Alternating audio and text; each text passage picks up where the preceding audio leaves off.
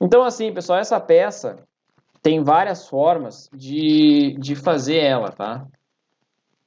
Eu acredito que a, a forma mais fácil é utilizar a ferramenta dobra esboçada.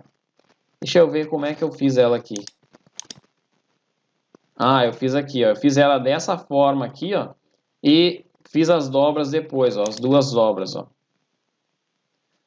Enfim, tem, tem, dá para fazer dessa forma também, dá para fazer da forma usando dobra esboçada, que eu acho que é como eu vou fazer com vocês. Deixa eu planificá-la aqui.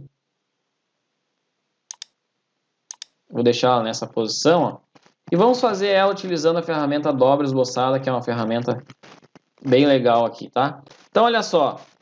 Vamos aqui em novo, vai ser uma peça bem legal para a gente fazer essa aqui, ó. Vamos aqui em novo, dois cliques em peça, orientação de vista isométrica. Vamos pegar aqui o plano direito, ó, vou selecionar ele vou vir aqui em esboço. Ó. E aí eu pego aqui a ferramenta linha ó, e eu vou dar um clique aqui, um clique aqui, outro aqui, eu pressionar ESC. Agora eu vou pressionar CTRL, manter CTRL pressionado, selecionar essa linha e a origem, ó. Vou colocar ponto médio, ok. E aí eu venho aqui e vou começar a medir a nossa peça. Ó. Daqui até aqui, ela tem 49,2.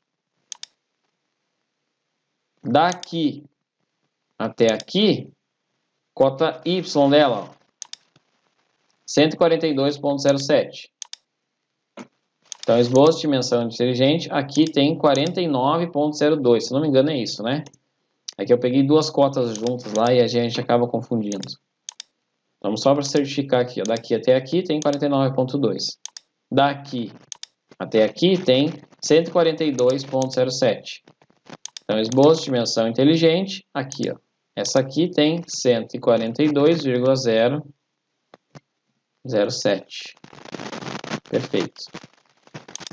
E aí, o raio que tem aqui, ó, é um raio de 10 milímetros. Então, eu vou pôr esse raio aqui já, ó. Na verdade, eu venho aqui em esboço, linha, ó.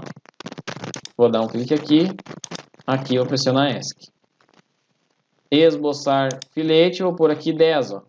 Então aqui, sim, aqui, sim, ok, ok. E aí eu pego aqui a ferramenta linha, ó. Vou dar um clique aqui, outro aqui, vou pressionar ESC, ó. E agora vamos ver aqui de quanto é o ângulo que tem aqui, daqui e aqui tem um ângulo de 158,55. Então, esboço de dimensão inteligente, daqui até aqui, ó, 158,55.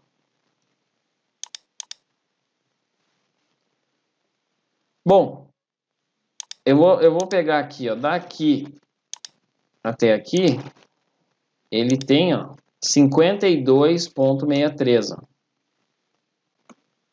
Então, o comprimento daquela linha ali é 52, esboço dimensão inteligente. Essa linha aqui tem 52,63. Vou pressionar essa. Agora, vou pegar a ferramenta linha, ó. vou dar um clique aqui. Ele vai ficar uma linha amarela aqui, ó, que está dizendo que ele vai ficar perpendicular a essa linha aqui. Então, deixem, sigam aquela linha amarela ali. Se de vocês está azul aqui, ó, Pressione CTRL, mantenha o CTRL pressionado, selecione essa linha aqui, essa aqui e coloque perpendicular, tá? Se ela estiver azul. Bom, agora deixa eu ver, deixa eu ver aqui, ó. Qual é o raio que tem aqui? Um raio de 20, ó.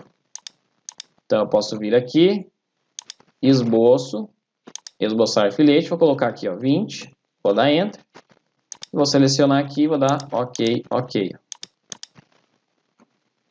E aí agora, daqui até aqui, tem 185.65.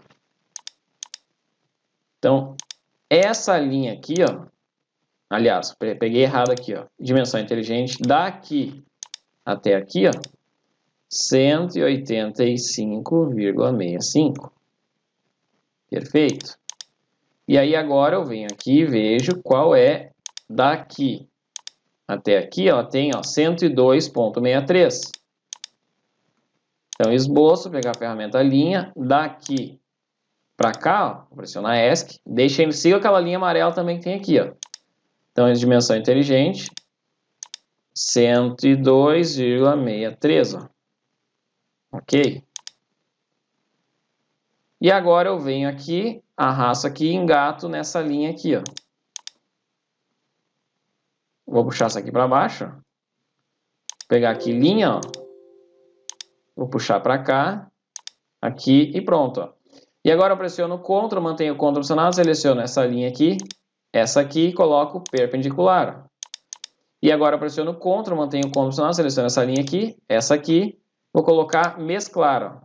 Ó. Ok. E aí agora eu vou ver aqui qual é o raio que tem aqui. Ó. Então aqui tem raio de 20, aqui tem raio de 20 também. Espera aí. E aqui ó, tem raio de 20 também. Então, esboço, esboçar filete, vou pôr 20 aqui. Então, aqui, aqui e aqui, ó. Ok, ok, ó. pronto.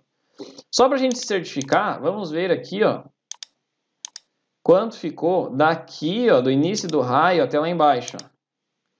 94.05. Vamos ver se deu isso aí na nossa dimensão inteligente daqui até aqui, ó. Ó, deu uma diferencinha ali, ó. Ele está com 93,98. Mas não tem problema, pessoal. Esses 7 décimos que deu aí não vai mudar nada, tá? Bom, para aumentar lá, eu poderia aumentar essa cota aqui. Ó. Se aumentar essa cota um pouquinho aqui, já ia dar certo. Mas não tem problema, tá? Vamos ficar assim, que não vai mudar nada aqui no nosso projeto, tá? Então pronto, está aqui a nossa peça. E deixa eu ver aqui qual é a espessura dela é uma chapa de 6,35 milímetros, é uma chapa de 1 quarto de polegada. Então, chapa metálica, flange base aba. Vou pôr aqui 6,35, ok. Ó, então, orientação de vista, isométrica, botão direito no material, a ISO 1020. Agora, olha só o que eu vou fazer. Ó.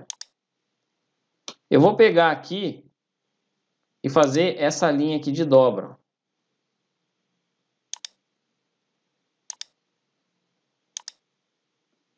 Daqui até aqui tem 44.64. E aqui 44.64 também. Olha só o que eu vou fazer. Eu vou selecionar essa face aqui, ó. Vou vir em esboço, ó. E aí eu pego a ferramenta linha, ó, e eu vou selecionar aqui, ó. Pode ser mais ou menos aqui, vou dar um clique aqui. E outro aqui em cima dessa aresta, eu vou pressionar ESC. Dimensão, aliás, pressiono encontro, ó. Pressiono encontro, mantenho o CTRL pressionado, seleciono essa linha essa aresta e coloque em paralelo. Ok, dimensão inteligente, daqui até aqui, ó, vamos por 44,64. Ok, linha novamente, um clique aqui, ó. outro aqui, vou pressionar ESC. Dimensão inteligente, daqui até aqui, ó, 44,64. E agora a gente vai usar a nossa ferramenta aqui, ó, vocês veem chapa metálica, é, dobra esboçada. Ó. E agora aqui ele pede para selecionar uma face fixa. Eu seleciono essa face aqui. Ó. E aí tudo que está, olha que interessante essa ferramenta, ó, tudo que está uh, ah, para o lado de, contrário da face fixa, que seria, eu selecionei essa face aqui, então tudo que está para cá do esboço ó, e para cá, ele dobra. Ó. Olha que interessante, ele vai dobrar ali a nossa peça. E aí eu posso colocar aqui, pessoal, essa opção aqui, ó. Coloquem essa terceira aqui, ó, dobrar para fora. Depois a gente ajusta lá se for o caso, dobrar para fora. E aí a dobra vai, o esboço vai ficar no início da dobra. Ó. E aqui é a mesma coisa, ó. Se eu colocar essa opção aqui, ó, vai ficar para dentro, ó. Olha lá, ó. A peça, a dobra fica para dentro do esboço, entenderam? Mas eu vou colocar essa terceira opção aqui, ó. E o ângulo da dobra é 90 graus. O raio de dobra podem pôr 7 milímetros, ó e deem Enter aqui, ó, 7 milímetros, e pronto, ok. Ó. E vamos ver agora quanto tem que ficar de aba aqui a nossa peça. Deixa eu só ver se ela está com 7 também aqui, 7. Daqui até aqui, ó, a cota X dela, ó, que é a dobra, tem que ter 50 milímetros de dobra. Ó. Então, daqui até aqui, tem que estar tá com 50, ó, que é o valor da dobra dela. Lá embaixo, a mesma coisa. Então, medida daqui até aqui, ela não está com, com 50, ela está com 48.01, então está faltando aí 8 milímetros. E como é que eu aumento essa dobra? Muito simples, eu venho aqui ó, no, no dobra esboçado, seleciono aqui, venho em editar esboço. Ó. E aí eu aumento essa cota aqui, ó, dois cliques nela, eu vou colocar aqui, ó, mais 8 e vou dar Enter, ó. Dois cliques aqui, mais 8 e vou dar Enter, ó. E venho aqui em reconstruir, ó. Deixa eu ver o que, que ele vai dar de erro aqui. Deixa eu ver o esboço, ó. Ah, é que ele ficou em cima aqui, ó. A dobra ficou bem em cima ali, ó. Então eu vou dar dois cliques aqui e vou colocar menos 0,1, para ele não ficar em cima lá. Deixa eu ver se vai dar certo. Aí dá certo, ó. E aí fica certinho lá. Só que daí ele ficou com a dobra errado lá, ó. Deixa eu ver aqui, deixa eu selecionar aqui e editar recurso. Ó, o raio de dobra está 0,01. Deixa eu colocar 7 e vou dar Enter, ó. Coloca em 7, o meu ele se perdeu ali, ó, e vou dar OK aqui. Pronto, agora deu certo. Ó. Entenderam? Ele tinha se perdido ali no raio de dobra.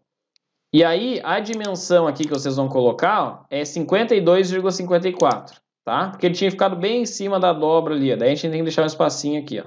Bem pequenininho ali, só para ele não dar, não dar erro. Então, agora, é, medida daqui até aqui, olha, 49,91 está quase por causa de 9 centésimos ali, não deu 50. Então, se eu selecionar aqui aqui, vai estar, tá, aqui vai estar tá com 50. Ó. Esse aqui, na verdade, ó, se vocês observarem, ó, ele não tá, ele, ele não tá com 50 por causa desse, dessa distância que eu deixei aqui, para não dar o erro. Mas pode deixar assim, pessoal, não tem problema, tá? Esses 9 centésimos aí não vai mudar nada, tá bom? Então pronto, ó, orientação de vista isométrica, está pronta a nossa peça aqui.